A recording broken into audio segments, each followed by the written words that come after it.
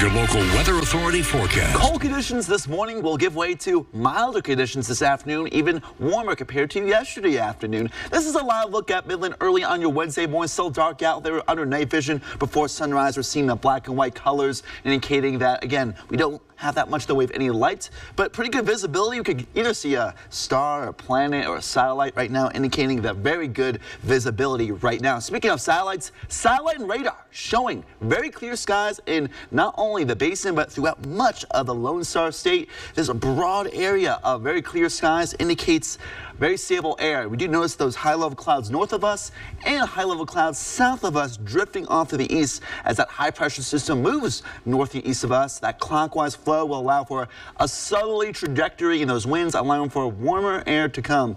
Not much way of any clouds this morning in around the basin, but we're still a little bit on the cold side of things this morning. And for the first time this season in parts of Terrell County, including Dryden, we could be seeing freezing temperatures. Freeze warning in effect till 9 a.m. Central Time with temperatures at or slightly below freezing potential the next few hours before we warm up in a big way later throughout the morning. Mostly clear skies, 36 right now in Midland. I think we'll drop very close to the freezing mark later this morning by the morning commute. 76% relative humidity, good visibility 10 miles. Already a south-southeasterly breeze at 5 miles per hour. Southerly winds will continue to start to rise throughout the morning and afternoon, picking up those temperatures eventually. Lower 30s in the northern western parts of our viewing area in the Trans-Pecos to the Caprock. A little bit above freezing right now along I-20 and even along I-10 pretty close to the freezing mark but slightly above the freezing mark in Dryden.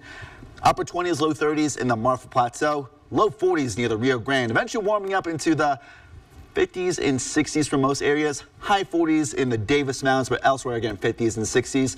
I think we'll sink in at right around 59, 60 today in the tall city. Average high 73, still shy of our average high, but closer to that compared to the past few days. Very sunny and cool at 60 this afternoon. South southeasterly winds right around 5 to 15 miles per hour. Again, the dome of high pressure allowing for very clear skies in our neck of the woods. Wispy clouds north of us and near the Rio Grande moving from west to east, not producing any rain. Chilly Chilly tonight, but not nearly as chilly as even what we're seeing right now. Mostly clear skies in the 40s for most of the overnight.